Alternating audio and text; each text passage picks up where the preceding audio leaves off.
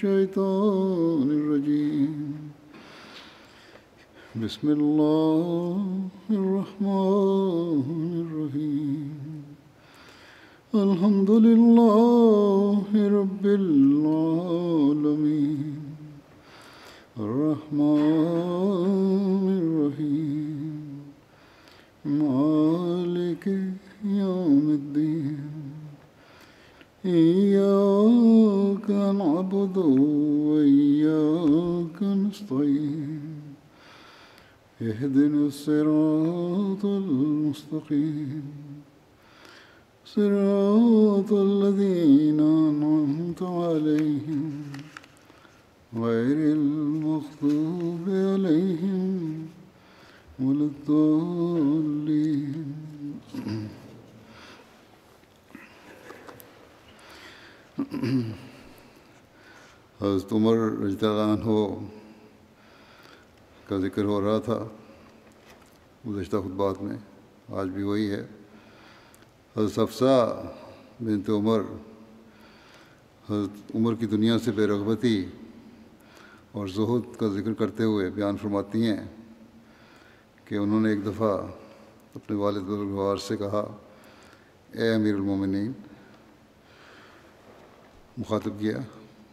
और एक रवायत में यह है कि ये इस तरह मुखातब किया कि, ए मेरे बाप, अल्लाह ने रिस्क को वसी किया है और आपको फतूहत अता की हैं और कसरत से माल अता किया है।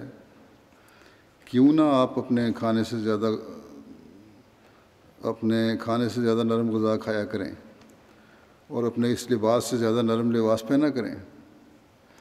हज़रत उमर ने फरमाया, मैं तुमसे ही इस उम्र का फ़ैसला चाहूँगा। क्या तुम्हें याद नहीं कि रसूलुल्लाह सल्लल्लाहु अलैहि वसल्लम को ज़िंदगी में कितनी सख्तियाँ गुजारनी पड़ी? रावी कहते हैं कि आप मुसलसल हज़रत हफ्सा को ये ये याद दिलाते रहे यहाँ तक कि हज़रत हफ्सा को रुला दिया। फिर हज़रत उमर ने फरमाया, अल्लाह की कसम, जहाँ तक मुझमें ताकत होगी मैं रसूलुल्लाह सल्लल्लाहु अलैहि और हज़रत बकर की ज़िंदगियों की सख्ती में शामिल रहूँगा, ताकि शायद मैं इन दोनों की राहत की ज़िंदगी में भी शरीक हो जाऊँ। एक रवायत में ये भी है कि उमर ने हफ्सा से कहा कि, ए बिनते उमर। तुमने अपनी कौम की खैर खाई तो की है, लेकिन अपने बाप की खैर खाई नहीं की। ये मशवरा दिया तूने मुझे, ये होगा तुम्हारी बेहतर खिदमत करूँगा कौम की, लेकिन मेरी खैर खाई नहीं है। और फिर फरमाया कि मेरे ख़ानदान वालों का सिर्फ़ मेरी जान और मेरे माल पर हक है, लेकिन मेरे दीन और मेरी इमानत में उनका कोई हक नहीं। यानी जो इमानत मैं अदा कर रहा हूँ और जिस तरह अदा कर रहा हूँ, इसमें मुझे तुम्हें कुछ कहने की ज़रूरत नहीं है। तुम्हारा कोई हक नहीं इस बात, इस बारे में कहना। हज़रत इक्रमा बिन खालिद बयान करते हैं कि हज़रत अफसा और हज़रत अब्दुल्ला और उनके अलावा कुछ और लोगों ने हज़रत उमर से बात करते हुए कहा, अगर आप ज़्यादा उमदा गज़ा खाएँ तो हक़ के लिए काम करने पर आप ज़्यादा कवि हो जाएँगे। हज़रत उमर ने फरमाया कि क्या तुम सबकी यही राय है? तो उन्होंने कहा हाँ। हज़रत उमर ने फरमाया कि मैं तुम्हारी खैर खाई समझ गया हूँ। लेकिन मैंने अपने दोनों दोस्तों, यानी आ हज़रत अलैहि वसल्लम और हज़रत अबू बकर को, उस रास्ते उस रास्ते पर छोड़ा है कि अगर मैंने उन दोनों का वो रास्ता छोड़ दिया तो मैं इन दोनों से मंजिल में नहीं मिल सकूँगा। मुस्लिम इतलान बयान फरमाते हैं कि रसूल करीम वसल्लम का ज़माना खौफ ख़तर का ज़माना था। उस वक्त जो आपने मुसलमानों को हकाम दिए थे, हम उनसे सबक हासिल कर सकते हैं। आपका अपना तरीक भी ये था और हदायत भी। आपने ये हदायत भी आपने ये कर रखी थी कि एक से ज़्यादा सालन इस्तेमाल ना किया जाए। यह मुस्लिम इतरान हो, अपने खुतबे में ज़िक्र कर रहे हैं तरीके दीद के सिलसिले में। बाहर फरमाते हैं कि हजर वसम की हदायत थी कि एक से साल, ज़्यादा सालन इस्तेमाल न किया जाए। और इस पर इतना ज़ोर देते थे कि बाद ने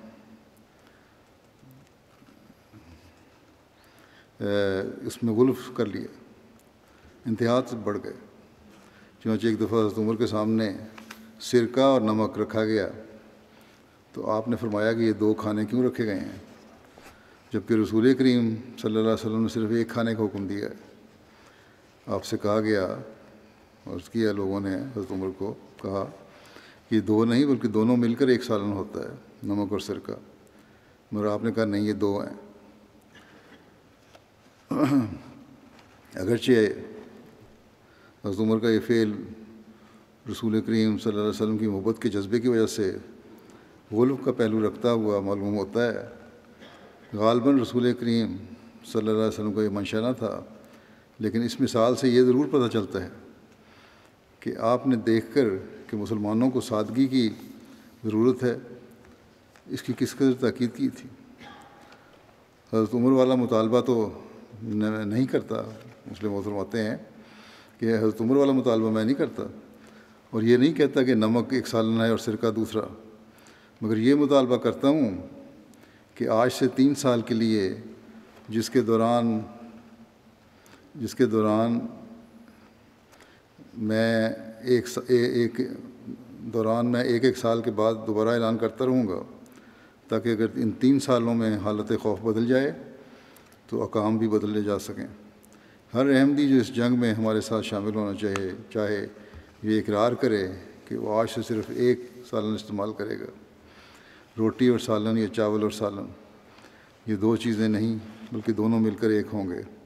लेकिन रोटी के साथ दो सालों या चावलों के साथ दो सालों की इजाज़त में होगी।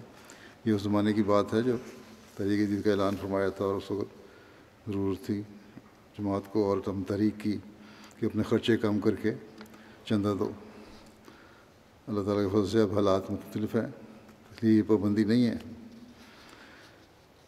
लेकिन फिर भी असराफ से काम नहीं लेना चाहिए। हज़ मुस्लिम आयत वल्लजीना इज़ा अनफ़ू लम युसरफ़ू, वलम यकतरू वकान बैन का कवामा। वल्लजीना इज़ा अनफ़ू लम युसरफ़ू वलम यकतरू वकान बैन ज़ाल का कवामा इसकी तफसीर करते हुए फरमाते हैं कि अल्लाह ताला फरमाता है कि अगर कोई अब्दुलरहमान बनना चाह, चाहे तो उसके लिए ये भी शर्त है कि वो अपना माल खर्च करते वक्त दो बातों का लिहाज करे। अव्वल ये कि वो अपने माल में असराफ ना करे, उसका खाना सिर्फ़ तकल्लुफ़ और मज़े के लिए नहीं होता। बल्कि क़वत ताकत और बदन को कायम रखने के लिए होता है। उसका पहनना आरइश के लिए नहीं होता, बल्कि बदन को ढांकने और खुदा ताला से, ने जो उसे हैसियत दी है, उसके महफूज रखने के लिए होता है। चुनाचे साहबा का तर्ज अमल बताता है कि वो इसी तरह करते थे। चुनाचे हज़रत एक दफ़ा शाम को तशरीफ़ ले गए, मुल्क शाम, वहाँ बाद साहबा ने रेशमी कपड़े पहने हुए थे। रेशमी कपड़ों से मुराद वो कपड़े हैं जिसमें किसी कदर रेशम था, वरना खालिद रेशम जो है कि कपड़े सवाए किसी बीमारी के मर्दों को पहनने मना है। आपने अपने साथियों से फरमाया, हज़रत उमर ने, कि इन लोगों पर खाक फेंको। यानी बुरा मनाया। और उनसे कहा कि तुम अब ऐसे आसाइश पसंद हो गए हो कि रेशमी कपड़े पहनते हो। उस पर उनमें से, उन साहबा में से एक ने कुर्ता उठाकर दिखाया तो मालूम हुआ कि उसने नीचे मोटी ऊन का सख्त कुर्ता पहना हुआ था। उसने हज़रत उमर को बताया कि हमने रेशमी कपड़े इसलिए नहीं पहने हैं कि हम इनको पसंद करते हैं, बल्कि इसलिए कि इस मुल्क के लोगों की तर्ज तर्ज ही ऐसी है और ये बचपन से ऐसे उमरा को देखने के आती हैं जो नहायत शान शौकत से रहते थे। बस हमने भी उनकी रियायत से अपने लिबासों को मुल्की सियासत के तौर पर बदला है, वरना हम पर इनका कोई असर नहीं। बस साहबा का अमल बताता है कि असराफ से क्या मुराद है। इससे यही मुराद है कि माल ऐसी अशा पर ना खर्च करे जिनकी ज़रूरत नहीं और जिनका मुद्दा सिर्फ़ आरइश और ज़बाइश हो। गरज खुदा ताला फरमाता है कि इबादुररहमान वो होते हैं जो अपने मालों में असराफ नहीं करते। जो मालों में असराफ ना करते हों, वो अपने मालों को रिया और दिखावे के लिए खर्च ना करते हों। बल्कि फ़ायदा और नफ़ा के लिए सर्फ करते हों। फिर अपने मालों को ऐसी जगह देने से ना रोकें, जहाँ दीनी ज़रूर, दीन, जहाँ देना ज़रूरी हो और उनका कवाम हो, यानी दरमियानी हो, इस फ़ायदा का ज़रिया बन रहा हो। ना अपने मालों को इस तरह लुटाएँ, जो अल्लाह ताला की मंशा के मतहत ना हो, और ना इस तरह रोकें कि जायज़ हकूक़ को भी अदा न करें। ये दो शर्तें इबादुररहमान के लिए मार्च माल खर्च करने के मतलब हैं, लेकिन बहुत लोग हैं जो या तो असराफ की तरफ़ चले जाते हैं या बुखल की तरफ़ चले जाते हैं। हज़रत उमर दिखावे और शान शौकत वाले लिबास के इस कदर ख़िलाफ़ थे कि मफतू दुश्मन के लिए भी ये पसंद नहीं करते थे कि वो कोई ऐसा लिबास पहन के उनके सामने आए जो शान शौकत वाला हो। चनाचे फ़ारसियों के सिपा सलार और मज़ान के वाक़ में इसकी तफसील मिलती है। ये तफसील तो मैं पहले बयान कर चुका हूँ। इस जगह मैं कुछ बयान करता हूँ थोड़ा सा ऐसा वादे करने के लिए। जब तुस्तर की फ़तह के वक्त फ़ारसियों के सिपा सलार और मुजान ने हथियार फेंक दिए और ख़ुद को मुसलमानों के हवाले कर दिया और उसे हज़रत उम्र की खिदमत में मदीना भेज दिया गया तो मदीना में दाखिल होने से पहले जो ले जाने वाले थे मुसलमान, उन्होंने उसे उसका रेशमी लिबास पहना दिया ताकि हज़रत उमर और मुसलमान उसकी असल हैत को देख सकें। जब हज़रत उमर के सामने वो आया तो हज़रत उमर ने पूछा, क्या मज़ान है? लोगों ने कहा हाँ। तो हज़रत उमर ने उसको और उसके लिबास को बगौर देखा और कहा, मैं आग से अल्लाह ताला की पनाह में आता हूँ और अल्लाह से मदद माँगता हूँ। काफ़िला के लोगों ने कहा कि, ये मज़ान है, इससे बात कर लें। आपने कहा, हरगिज़ नहीं।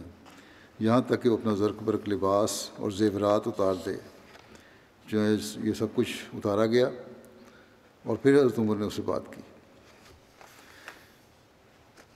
हज़रत उमर की आयजी और तकवा के बारे में, उनके मैार का बारे में इस बात से अंदाज़ा होता है।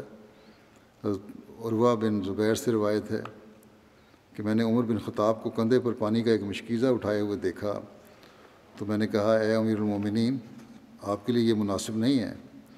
आपने फरमाया कि जब वफूद इतात और फर्माबरदारी का मुजाहरा करते हुए मेरे पास आए, मुख्तलिफ़ कौमों के वफद आए, जब इतात का मुजाहरा करते हुए तो मेरे दिल में अपनी बड़ाई का एहसास हुआ। इसलिए मैंने इस बड़ाई को तोड़ना ज़रूरी समझा। कि बड़ाई क्यों पैदा हुई? इसलिए मैंने सोचा कि मैं फिर इसको इस तरह तोड़ूँ कि पानी का मशीज़ा उठा के लेके जाऊँ। हज़िया बिन अब्दुलरहमान बिन हातिब अपने वाले से रवायत करते हैं कि हम लोग उमर बिन ख़ताब के साथ मक्के से काफ़िले की सूरत में वापस आ रहे थे। यहाँ तक कि हम जजनान की घाटियों में पहुँचे। तो लोग रुक गए। जजनान मक्के से 25 मील के फासले पर एक मुकाम का नाम है। तो कहते हैं कि हज़रत उमर ने फरमाया, मुझे इस जगह पर वो वक्त भी याद है, जब मैं अपने वालिद ख़ताब के ऊँट पर होता था। और बहुत सख्त तबीयत के इंसान थे वो। एक मरतबा मैं इन ऊँटों पर लकड़ियाँ लेकर जाता था और दूसरी मरतबा उन पर घास लेकर जाता था। आज मेरा ये हाल है कि लोग मेरे इलाके के दूर दराज में, मेरे इलाके के दूर दराज में सफ़र करते हैं और मेरे ऊपर कोई नहीं, यानी मैं एक वसी अरीज़ इलाके का हाकम हूँ, जिसमें लोग दूर दूर तक सफ़र करते हैं और मुझसे मिलने आते हैं। और मेरे ऊपर दुनिया का कोई हक, हुक्मरान नहीं है जो मुझ पर हुकूमत करता हो। फिर ये शेर पढ़ा, ला शय अफ़ीमा तरा अल्ला बशाशा था जब कल इला हो वयूदी मालो वलवलद यानी जो कुछ तुम्हें नज़र आता है, उसकी कोई हकीकत नहीं, सिवाय एक आर्जी खुशी के। सिर्फ़ खुदा की ज़ात बाकी रहेगी, जबकि माल और औलाद फना हो जाएगी। खलीफ मसीह अव्वल तलानो फरमाते हैं, इस बारे में हज़रत उमर हज से आते हुए एक दरख्त के पास खड़े हो गए। वज़ैफ़ा जो बेतकल्लुफ़ था, उसने ज़रूरत की और वजह पूछी आपने फरमाया कि एक वक्त था कि जब मैं अपने एक अपने एक ऊँट को चराता था और इस दरख्त के नीचे मेरे वालिद ने मुझे बहुत ज़जर तबीख की थी। और अब यह वक्त है कि ऊँट तो क्या कई लाख आदमी मेरी आँख के इशारे पर जान देने को तैयार हैं। इस बारे में मुस्लिम मुस्लिम फरमाया, फरमाते हैं, क्या ये तजु की बात नहीं कि ऊँटों के चराने वाला एक शख्स अजीम शान बादशाह बन गया? और सिर्फ़ दुनियावी बादशाह नहीं, बना, बल्कि रूहानी भी। ये हज़रत उमर थे जो इब्तदाई उम्र में ऊँट चराया करते थे। एक दफ़ा आप हज को गए तो रास्ते में एक मुकाम पर खड़े हो गए। धूप बहुत सख्त थी, जिससे लोगों को बहुत तकलीफ़ हुई। लेकिन कोई ये कहने की ज़रूरत न करता कि आप यहाँ क्यों खड़े हैं। आखिर एक साहबी को जो हज़रत उमर के बड़े दोस्त थे और जिनसे आप फितने के मतलब पूछा करते थे लोगों ने कहा कि आप इनसे पूछें। हज़रत उमर से पूछें कि यहाँ क्यों खड़े हैं? उन्होंने हज़रत उमर से अर्ज़ किया कि आगे चलिए, यहाँ क्यों खड़े हो गए हैं? हज़रत उमर ने फरमाया कि मैं यहाँ इसलिए खड़ा हुआ हूँ कि एक दफ़ा मैं ऊँट चलाने की वजह से थक कर इस दरख्त के नीचे लेट गया था। मेरा बाप आया और उसने मुझे मारा कि क्या तुझे इसलिए भेजा था कि वहाँ जाकर सो सो रहना तो एक वक्त में मेरी ये हालत थी लेकिन मैंने रसूल करीम अलैहि वसल्लम को कबूल किया तो खुदा ताला ने मुझे ये दर्जा दिया कि आज अगर लाखों आदमियों को कहूँ तो मेरी जगह जान देने के लिए तैयार है। इस वाक़ से और नीज इस किस्म के और बहुत से वाक़ात से मालूम होता है कि सहाबा किस हालत में थे और रसूल करीम अलैहि वसल्लम की इतबा से उनकी क्या हालत हो गई। और उन्होंने वो दर्जा और इल्म पाया जो किसी को हासिल न था। तो मुस्लिम फरमाते हैं कि ये किस्सा मैंने इसलिए सुनाया है कि देखो, एक ऊँट चराने वाले को दीन और दुनिया के वो वो इल्म सिखाए गए जो किसी को समझ नहीं आ सकते। एक तरफ़ ऊँट या बकरियाँ चराने की हालत को देखो कि कैसी इल्म से दूर मालूम होती है। और दूसरी तरफ़ इस बात पर गौर करो कि अब भी जबकि यूरोप के लोग मुल्कदारी के कवानीन से नहायत वाकफ़ और आगाह हैं हज़रत उमर के बनाए हुए कानून को इज़्ज़त की निगाह से देखते हैं। एक ऊँट का चरवाहा और सल्तनत क्या ताल्लुक़ रखते हैं? लेकिन देखो कि उन्होंने वो कुछ किया कि आज दुनिया उनके आगे सर झुकाती और उनकी सियासतदानी की तारीफ़ करती है। फिर देखो हज़रत अबू बकर एक मामूली ताजर थे, लेकिन अब दुनिया हैरान है कि इनको ये फ़हम, ये अकल और फ़िक्र कहाँ से मिल गया? मैं बताता हूँ कि उनको कुरान शरीफ से सब कुछ मिला। उन्होंने कुरान शरीफ पर गौर किया। इसलिए उनको वो कुछ आ गया जो तमाम दुनिया को ना आता था। क्योंकि कुरान शरीफ एक ऐसा हथियार है कि जब इसके साथ दिल को सैकल किया जाए तो ऐसा साफ़ हो जाता है कि तमाम दुनिया के ूम उसमें नज़र आ जाते हैं। और इंसान पर एक ऐसा दरवाज़ा खुल जाता है कि फिर किसी के रोके वो ूम जो इसके दिल पर नादल किए जाते हैं नहीं रुक सकते। बस हर एक इंसान के लिए ज़रूरी है कि वो कुरान को पढ़ने और गौर करने की कोशिश करे। हज़रत उमर की आयजी और इनकी सारी के बारे में एक रवायत में इस तरह ज़िक्र मिलता है। जुबैर बिन नुफैर से रवायत है कि एक जमात ने उमर बिन ख़ताब से कहा, ए अमीरमिन अल्लाह की कसम, हमने किसी शख्स को आपसे ज़्यादा इंसाफ करने वाला, ज़्यादा हक गो और मुनाफिकीन पर सख्ती करने वाला नहीं देखा। बेशक आप रसूल अलैहि वसल्लम के बाद लोगों में सबसे बेहतर हैं।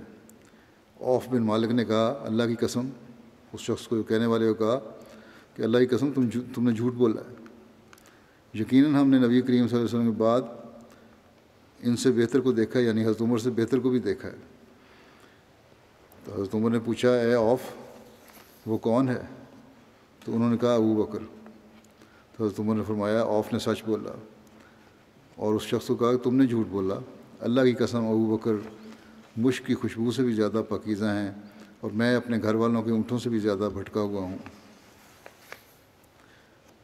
मुस्लिम तला फरमाते हैं, हदीसों में आता है कि एक दफ़ा हज़रत उमर और हज़रत बकर की किसी बात पर तकरार हो गई। ये तकरार बढ़ गई। हज़रत उमर की तबीयत तेज़ थी, इसलिए हज़रत बकर ने मुनासिब समझा कि वो इस जगह से चले जाएँ ताकि झगड़ा खाम खा ज़्यादा ना हो जाए।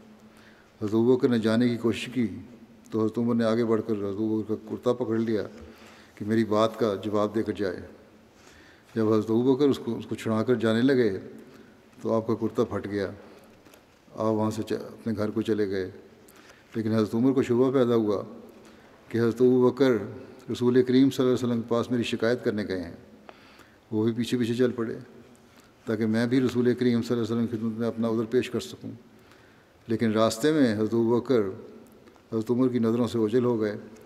हज़रत उमर यही समझे कि आप रसूल करीम वसल्लम की खिदमत में शिकायत करने गए हैं। वो भी सीधे रसूल करीम वसल्लम की खिदमत में जा पहुँचे। वहाँ जाकर देखा तो हज़रत बकर मौजूद न थे। लेकिन चूँकि उनके दिल में नदामत पैदा हो चुकी थी, इसलिए अर्ज़ किया, या रसूल मुझसे गलती हुई कि मैं अबू बकर से सख्ती से पेश आया। हज़रत अबू बकर का कोई कसूर नहीं, मेरा ही कसूर है। जब हज़रत उमर रसूल करीम वसल्लम खिदमत में हाज़िर हुए तो हज़रत बकर को जाकर किसी ने बताया कि हज़रत उमर रसूल करीम वसल्लम के पास आपकी शिकायत करने गए हैं। हज़रत बकर के दिल में ख्याल पैदा हुआ कि मुझे भी अपनी बरात के लिए जाना चाहिए, ताकि एक तरफा बात ना हो जाए और मैं भी अपना नुक्ता निगाह पेश कर सकूँ। जब हज़रत बकर रसूल करीम वसल्लम की खिदमत मजलिस में पहुँचे तो उमर अर्ज़ कर रहे थे कि या रसूल मुझसे गलती हुई कि मैंने अबू बकर से तकरार की और उनका कुर्ता मुझसे फट गया। जब रसूल करीम वसल्लम ने बात सुनी तो गुस्से के आसार आपके चेहरे पर ज़ाहिर हुए। आप सल्लल्लाहु अलैहि वसल्लम ने फरमाया ए लोगो, तुम्हें क्या हो गया जब सारी दुनिया मेरा इनकार करती थी और तुम लोग भी मेरे मुखालिफ थे, उस वक्त अबू बकर ही था जो मुझ पर ईमान लाया और हर रंग में उसने मेरी मदद की। फिर अफसरदगी के साथ फरमाया, कि आप भी तुम मुझे और अबू बकर- को नहीं छोड़, छोड़ते। आप ये फरमा रहे थे कि हज़रत बकर दाखिल हुए। ये होता है सच्चे इश्क का नमूना, कि बजाय ये उधर करने के, या रसूलुल्लाह, मेरा कसूर न था, उम्र का कसूर था उम्र दाखिल हुए, और तो उन्होंने जब देखा, अबू बकर जब दाखिल हुए, उन्होंने जब देखा कि रसूल करीम दिल में खफकी पैदा हो रही है तो अपने आप सच्चे आशिक की हैसियत से बर्दाश्त न कर सके कि मेरी वजह से रसूल करीम वसल्लम को तकलीफ़ हो। इसलिए हज़रत अबू बकर ने आते ही रसूल करीम वसल्लम के सामने घुटनों के बल बैठ कर अर्ज़ किया कि, या रसूल उम्र का कसूर नहीं, मेरा कसूर था।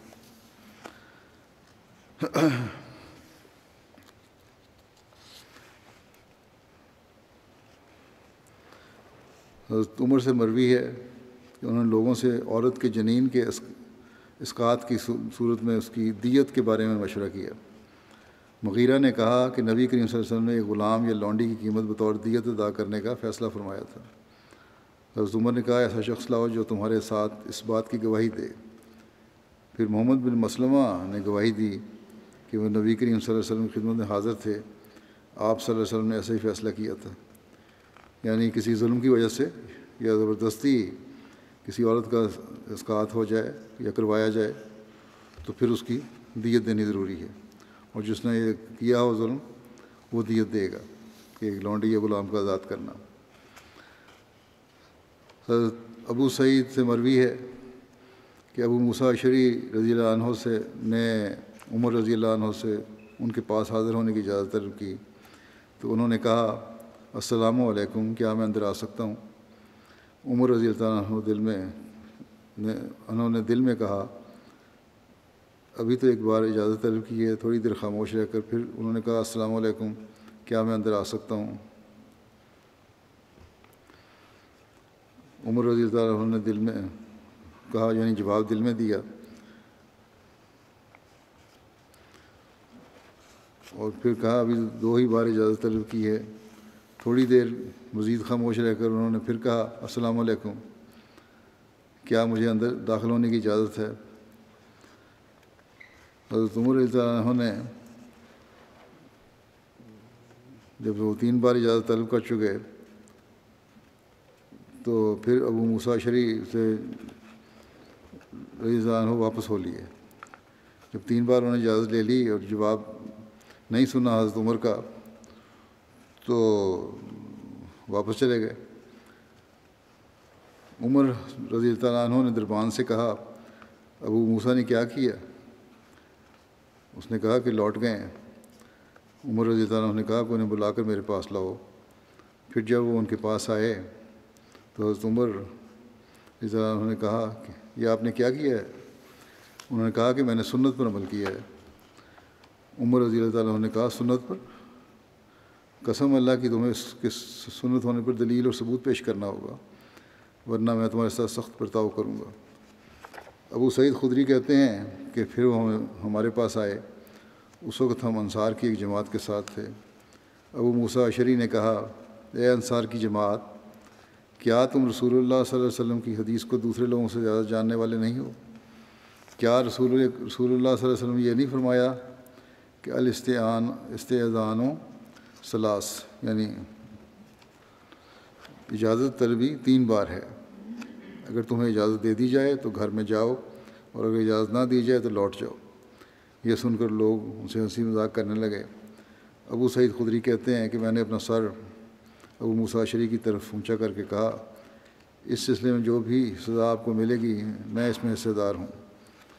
हाँ उन्होंने कहा, ठीक है, मैं गवाही देता हूँ कि आपने ठीक कहा है। रावी कहते हैं, फिर वो यानी अबू सईद उमर रज़ी अल्लाह के पास आए और उनको इस हदीस की खबर दी। उमर ने कहा, हज़रत उमर ने कहा कि ठीक है, मुझे इस हदीस का इलम नहीं था और अब मुझे इलम हो गया।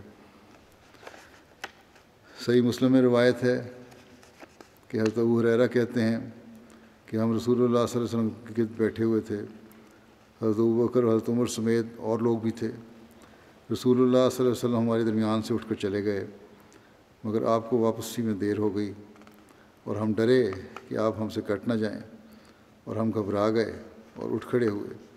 सबसे पहले मुझे फ़िक्र पैदा हुई तो मैं रसूलुल्लाह सल्लल्लाहु अलैहि वसल्लम को ढूँढने के लिए बाहर निकल पड़ा।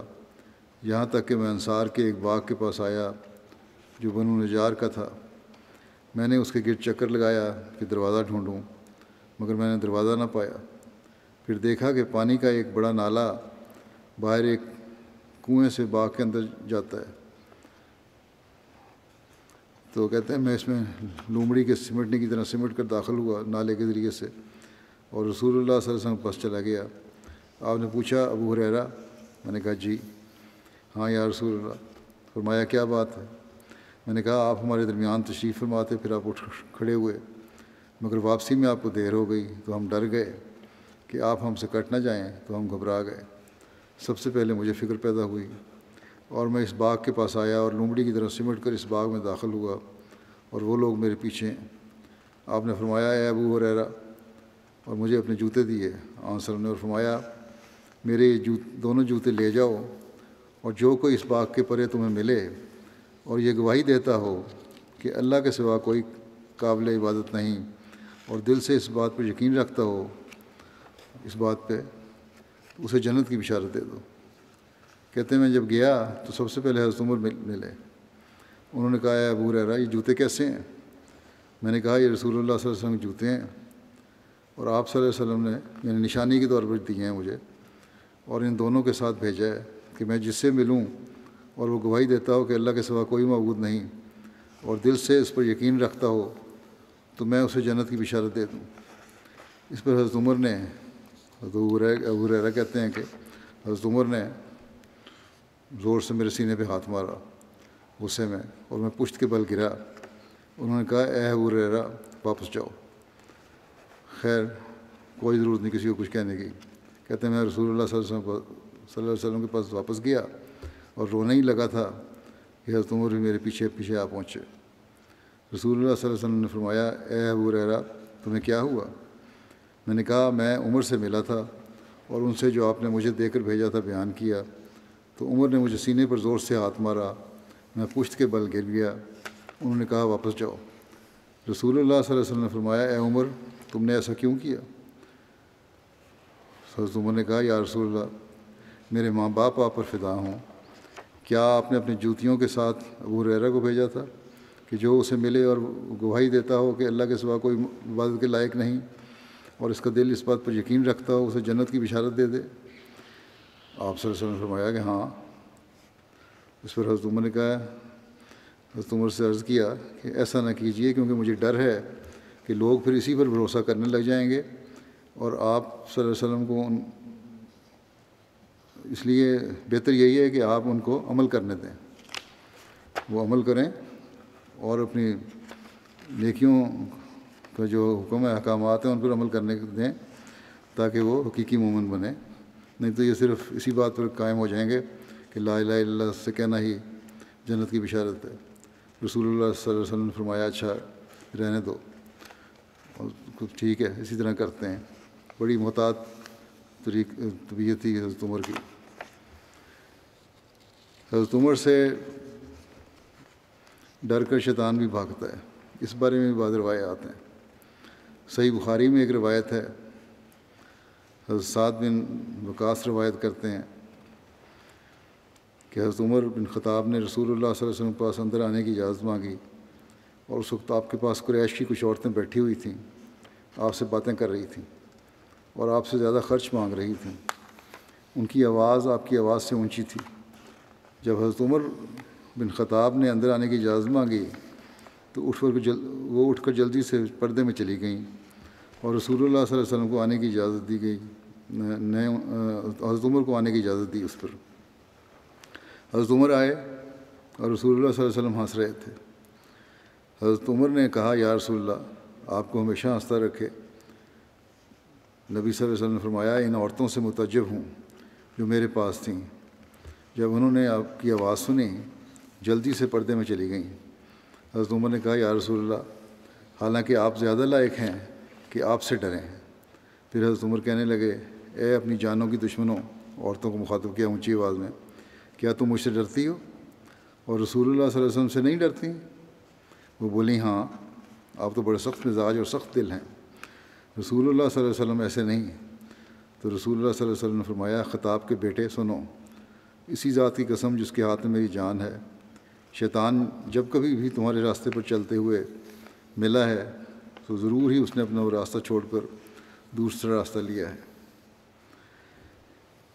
हज़रत आयशा बयान फरमाती हैं कि एक मरतबा अलैहि वसल्लम तशरीफ़ फरमाते कि हमने शोर सुना और बच्चों की आवाज़ें भी अलैहि वसल्लम खड़े हो गए।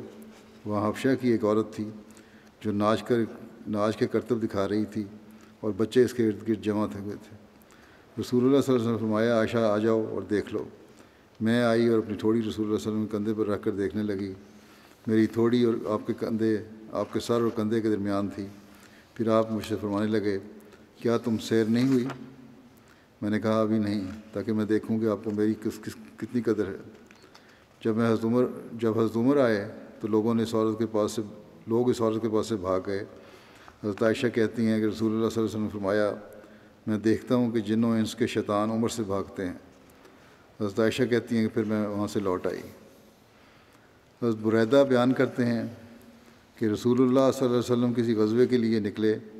जब आप वापस तशरीफ़ लाए तो एक सियाह फाम लौंडी ने आकर अर्ज़ किया कि ए अल्लाह के रसूल सल्लल्लाहु अलैहि वसल्लम, मैंने मन्नत मानी थी कि अगर अल्लाह ताला आपको सलामती से वापस ले आया तो मैं आपके सामने दफ़ बजाकर गाना गाऊँगी।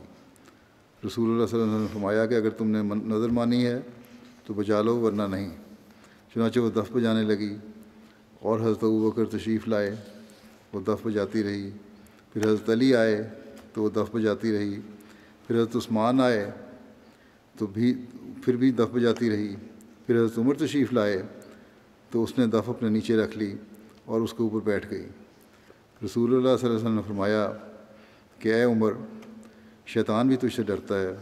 मैं बैठा था तो ये दफ़ बजाती रही। फिर अबू बकर आए, ये दफ़ बजाती रही। फिर अली आए तो भी बजाती रही। फिर उस्मान आए तो ये बजाती रही। मगर ए उमर, जब तुम आए हो तो उसने दफ़ रख दी है। हज़रत मसीम सलाम फरमाते हैं कि नबी सल्लल्लाहु अलैहि वसल्लम ने हज़रत उमर को कहा था कि अगर शैतान को, शैतान तुझको किसी राह में पावे तो दूसरी राह अख्तियार करे और तुझसे डरे। और इस दलील से साबित होता है कि शैतान हज़रत उमर से एक नामर्द जलील की तरह भागता है। हज़रत उमर की ज़ुबान और दिल पर हक और सकीनत के बारे में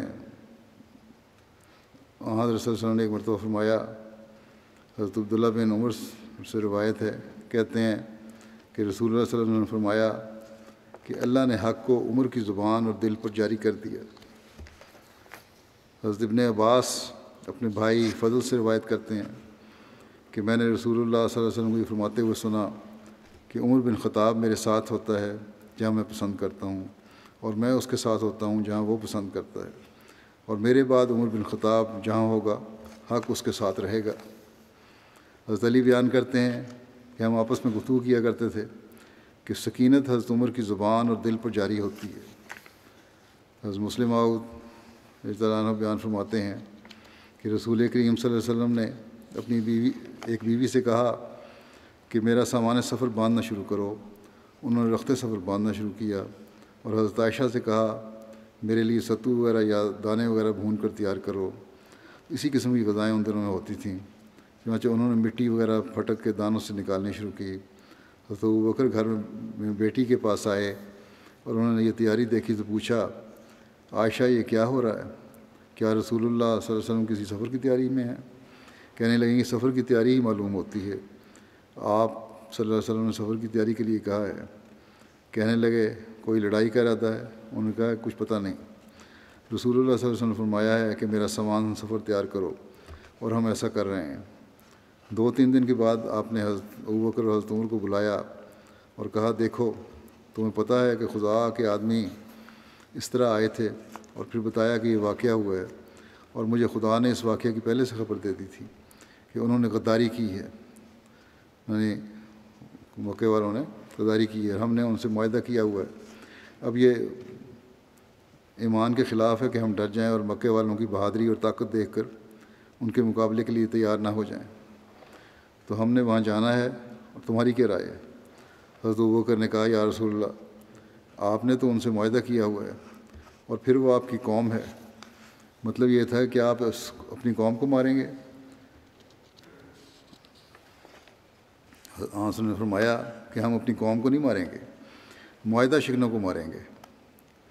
फिर हज़रत उमर से पूछा तो उन्होंने कहा, बिस्मिल्लाह, मैं तो रोज़ दुआएँ करता था कि ये दिन नसीब हो और हम रसूलुल्लाह सल्लल्लाहु अलैहि वसल्लम की हिफाजत में कुफार से लड़ें। रसूल करीम सल्लल्लाहु अलैहि वसल्लम ने फरमाया, अबू बकर बड़ा नरम तबीयत का है, मगर कौल सादक उम्र की ज़ुबान से ही ज़्यादा जारी होता है। फरमाया कि तैयारी करो। फिर आपने इर्द गिर्द के कबाइल को ऐलान भिजवाया कि हर शख्स जो अल्लाह और रसूल पर ईमान रखता है, वो रमज़ान के इब्तदाई दिनों में मदीना में जमा हो जाए, चुनाचे लश्कर जमा होने शुरू हुए और कई हज़ार आदमियों का लश्कर तैयार हो गया। और आप लड़ने के लिए तशरीफ़ ले गए। हज़रत बकर और उम्र की फजीलत के बारे में एक रवायत है। हज़रत अबू सईद खुदरी से रवायत है कि नबी करीम वसल्लम ने फरमाया इलीन वालों में से कोई शख्स जन्नत वालों पर झांकेगा तो इसके चेहरा की वजह से जन्नत जगमा उठेगी। गोया एक चमकता हुआ सितारा है और तो बकर और उमर भी उनमें से हैं और वह दोनों क्या ही खूब हैं। अबू उस्मान से रवायत है कि रसूल वसल्लम ने हज़रत अमर बिन आस को ज़ातुलसलासिल की फ़ौज पर अफसर मुकर करके भेजा। ये मदीना से कोई एक दिन के सफ़र में वाक़ जगह है। उन, उस ज़माने का जो सफ़र का तरीका होता है उसके मुताबिक। और वादी अलकरा से आगे कबीला जुज़ाम के इलाके में एक कुएँ का नाम है। हज़रत कहते हैं कि जब मैं आपके पास वापस आया तो मैंने आपसे पूछा, लोगों में से आपको कौन ज़्यादा प्यारा है? आपने फरमाया, आयशा। मैंने कहा, मर्दों में से कौन ज़्यादा प्यारा है? आपने फरमाया, इस आयशा का बाप। मैंने कहा, फिर कौन? आपने फरमाया, उमर। फिर आपने कई मर्दों का नाम लिया। हज़रत अनस से मरवी है कि रसूलुल्लाह सल्लल्लाहु अलैहि वसल्लम, महाजरीन अंसार में से अपने साहबा के पास निकल कर आते और वो बैठे होते। उनमें अबू बकर और उमर रज़ी रज़ी अल्लाह भी होते। तो उनमें से कोई अपनी निगाह आपकी तरफ़ नहीं उठाता था, सिवाय अबू बकर और उमर रज़ी अनहों के, अनहुमा के। ये दोनों आपको देखते और मुस्कराते और आप इन दोनों को देखते और मुस्कराते। हज़रत इब्न उमर से मरवी है कि रसूलुल्लाह सल्लल्लाहु अलैहि वसल्लम एक दिन निकले और आप और हज़रत अबू बकर और उमर मस्जिद में दाखिल हुए।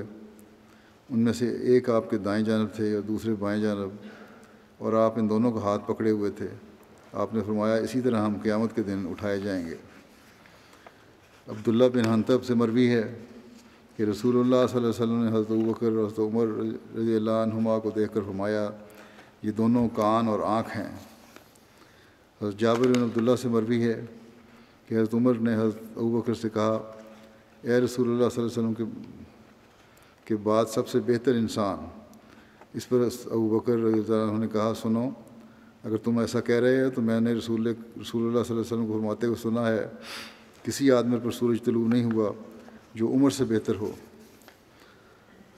इब्ने उमर से मरवी है कि अलैहि वसल्लम ने फरमाया मैं मैं, मैं वो पहला शख्स हूँ। मैं वो पहला शख्स होऊँगा जिससे ज़मीन शक होगी। फिर अबू बकर, फिर उमर रज़ी अल्लाहुमा फिर मैं बकी वालों के पास आऊँगा तो वो मेरे साथ उठाए जाएँगे।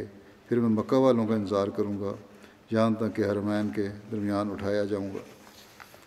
हज़रत अब्दुल्ला बिन मसूद से मरवी है कि नबी अकरम वसल्लम ने फरमाया, तुम्हारे पास जन्नत वालों में से एक शख्स आ रहा है। तो हज़रत बकर रज़ी तु आए। फिर आपने फरमाया, तुम्हारे पास जन्नत वालों में से एक शख्स आ रहा है। तो हज़रत उमर रज़ी तु आए।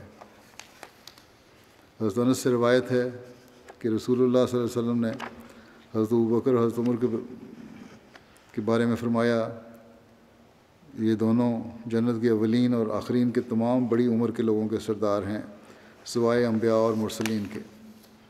हज़रत हुज़ैफ़ा से रवायत है कि रसूलुल्लाह वसल्लम ने फरमाया, मेरे बाद इन दोनों, अबू बकर और उमर की पैरवी करना। हज़रत अबू सईद खुदरी से बयान करते हैं कि अलैहि वसल्लम ने हर नबी के आसमान वालों में से दो वज़ीर होते हैं और ज़मीन वालों में से भी दो वज़ीर होते हैं। आसमान वालों में से मेरे दो वज़ीर जब्राईल और मिकाइल हैं और ज़मीन वालों में से मेरे दो वज़ीर अबू बकर और उमर हैं।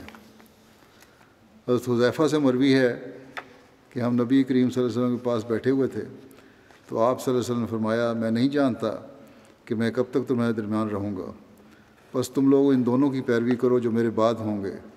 और आप सल्लल्लाहु ने हज़रत बकर और हज़रत उमर की तरफ़ इशारा किया।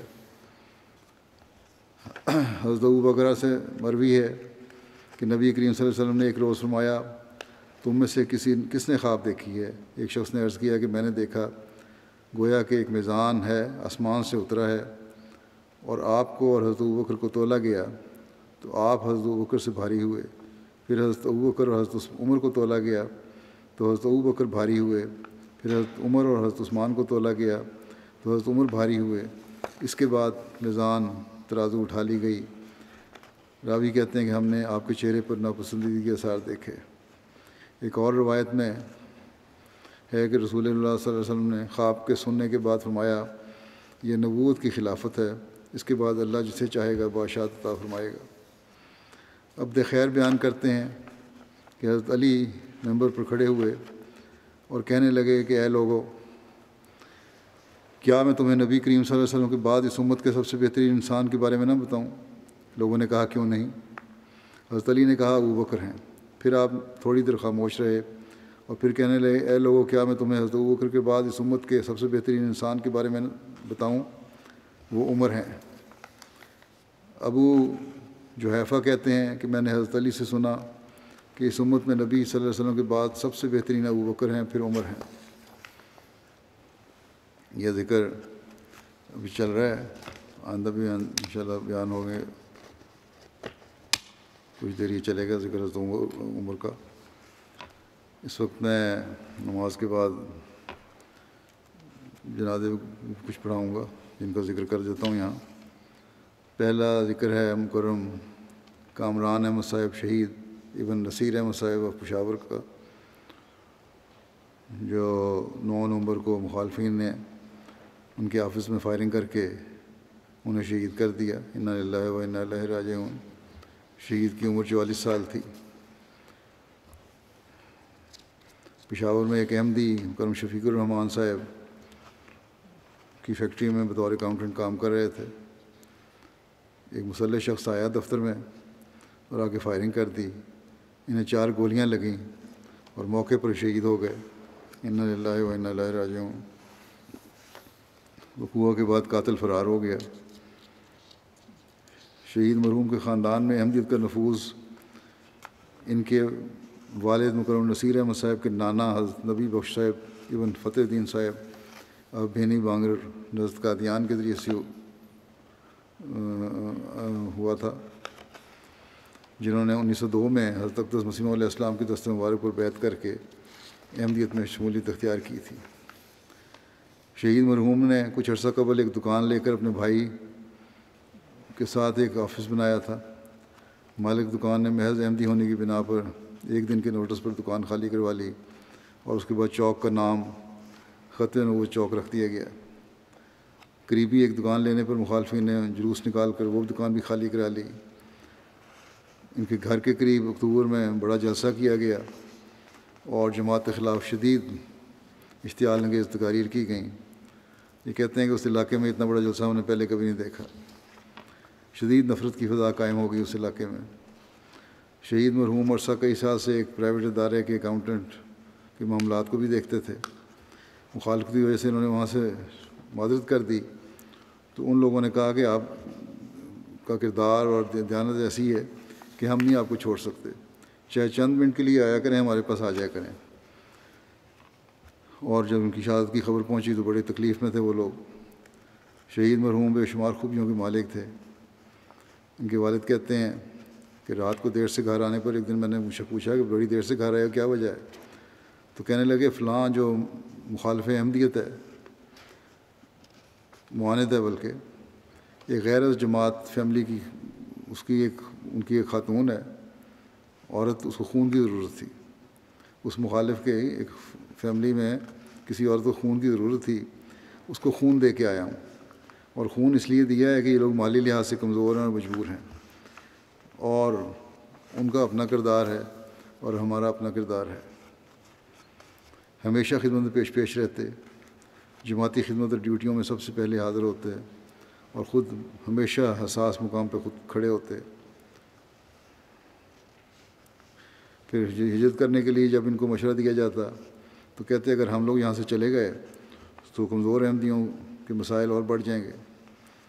चंदा जात की अदायगी में बड़े नुमायाँ उनका हैसियत थी।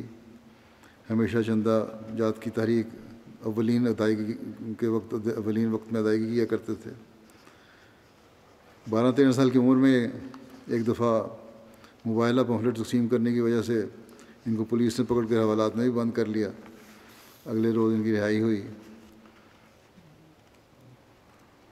कहते हैं, वाक़ शहादत से दो दिन पहले इन्होंने ख्वाब देखी थी कि बुज़ुर्ग ख़ातून इनके घर की सफ़ाई कर रही हैं और कह रही हैं कि खलीफा राबे ने आना है।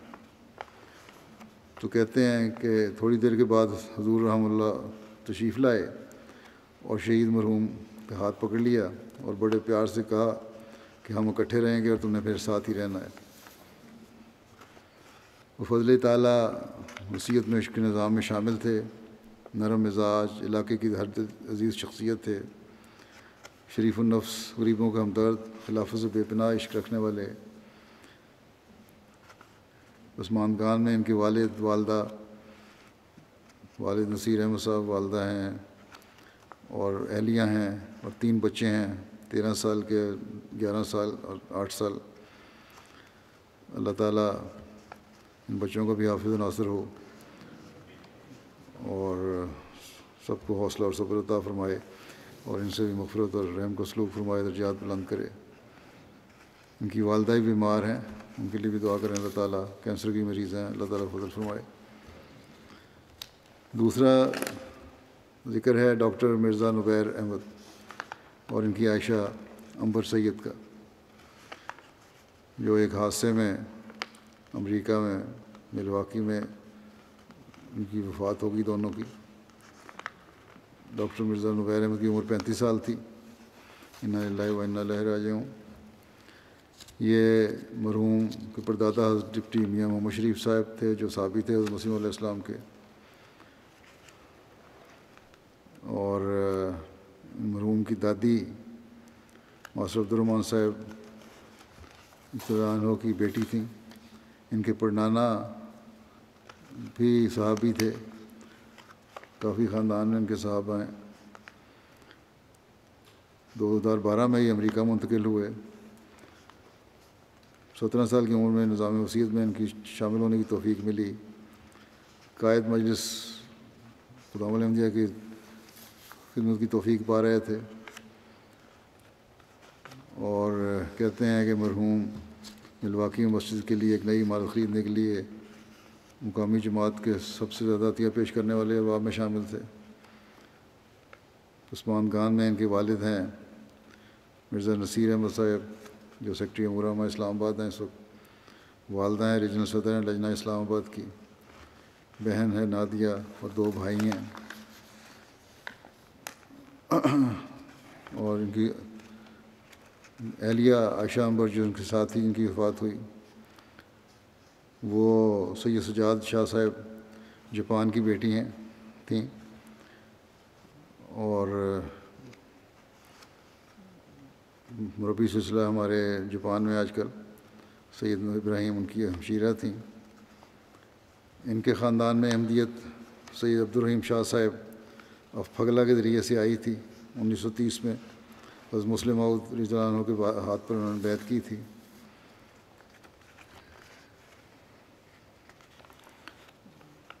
और जैसा कि मैंने बताया कि इनकी वफात भी अपने खामद के साथ ही एक्सीडेंट में हुई दो दिन के बाद।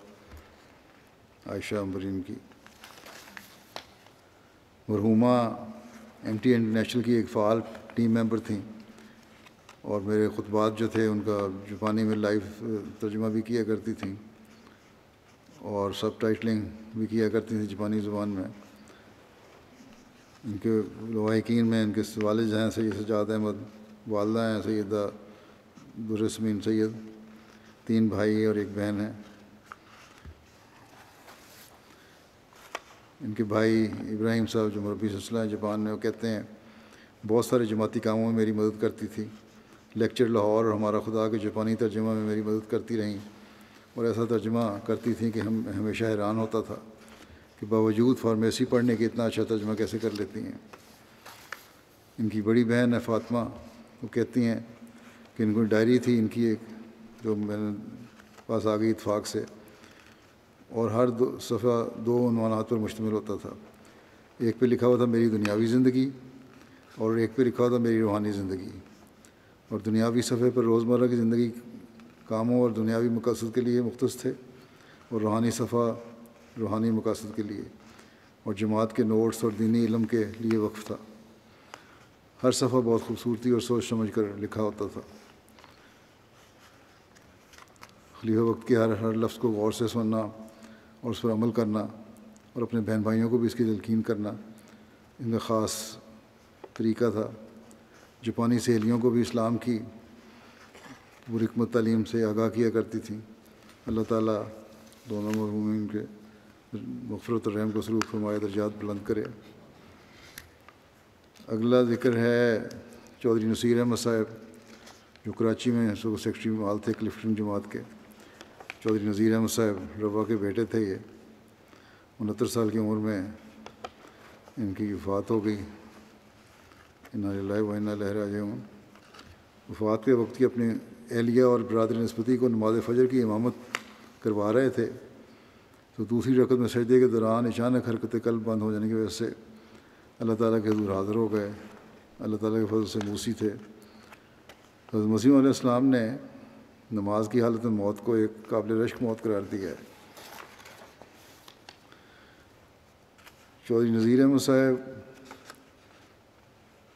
जो इनके वालिद थे, उनको भी रिटायरमेंट के बाद 25 साल जमात खिदमत की तोफ़ी मिली। नायब नाजर ज़रात और वकील ज़रात रहे। इनके भाई, छोटे भाई हैं, चौधरी नईम अहमद साहब, अफसर ख़जाना अनवन के उस्मान खान में इनकी अहलियाँ हैं। नुसरत नसीर साहिबा इनकी औलाद नहीं थी। और उन्नीस सौ बहत्तर में कराची शिफ्ट हुए, वहीं इनका कारोबार था। वहाँ मुख्तलिफ़ हैसियतों से जमात की खिदमत की तोफ़ी मिली और गैर मामूली खिदमत की उन्होंने तोफ़ी पाई। अल्लाह ताला इनसे मफरत रहम का सलूक फरमाए। अगला ज़िक्र है सरदारा बीबी साहिबा, एलिया चौधरी नवे बख्श साहब दारहमत गरबी रब्बा का। जिनकी गुजशत दिनों वफात हुई इन्ना इनका ताल्लुक़ पठानकोट ज़िला गुरदासपुर से था, फिर ये हिजरत करके पाकिस्तान आ गए। पहले सियालकोट, फिर सिंध। वालदेन और सारा ख़ानदान शिया मसल से ताल्लुक़ रखता था, रखता है। उन्नीस सौ उनचास में जब अपने ख़ानदान के साथ आपने अहमद कबूल की तो वालदेन ने कहा कि तुम्हारा खामद काफर हो गया है, इसलिए तुम वापस आ जाओ। ख़ानदान के साथ नहीं, अपने खामद के साथ अहमद कबूल की थी। बाकी ख़ानदान ने बैत नहीं की। उन्होंने कहा खामद काफिर हो गया, तुम तुम छोड़ दो इसको। इस पर उन्होंने जवाब दिया अपने घर वालों को, ख़ानदान को, कि अब तो मैं सही मुसलमान हुई हूँ आपके पास तो सिर्फ़ फजर की नमाज़ पढ़ती थी और अब मैं ना सिर्फ़ पाँच वक्त की नमाज़ें बल्कि तहजद की नमाज़ बाकायदगी से पढ़ती हूँ। इसलिए वापस नहीं आऊँगी। चौदह साल के बाद अपने वालदेन को मिलने गई। उस वक्त भी बड़ी सरदमोरी से मिले, लेकिन उसके बावजूद उनके दिल नरम नहीं हुए और कभी वो इनको मिलने नहीं आए। जमात से सच्चा प्यार करती थी, खिलाफत से फिदाइत का ताल्लुक़ था। गरीब, परवर, नेक और मुखलस खातून थीं, मरहुमा मोसिया थीं। उस्मान गान में तीन बेटे और चार बेटियाँ शामिल हैं। इनके बड़े बेटे डॉक्टर अब्दुलरहीम साहब को भी नुसरत जहाँ के तहत पाँच साल सरजों में खिदमत की तोफ़ी मिली। छोटे बेटे अब्दुल खालिक नैयर साहब मुरबी सिलसिला हैं, आजकल कैमरून में खिदमत की तोफ़ी पा रहे हैं। वहाँ मिशनरी इंचार्ज भी हैं अमीर भी हैं, जो मैदान अमल में इस वक्त मसरूफ़ हैं और इस वजह से वालदा की जनाजे में भी शामिल नहीं हो सके। अल्लाह ताला इन सबको सब्र और हौसला भी ता फरमाए, मरहुमा के दर्जात बुलंद फरमाए।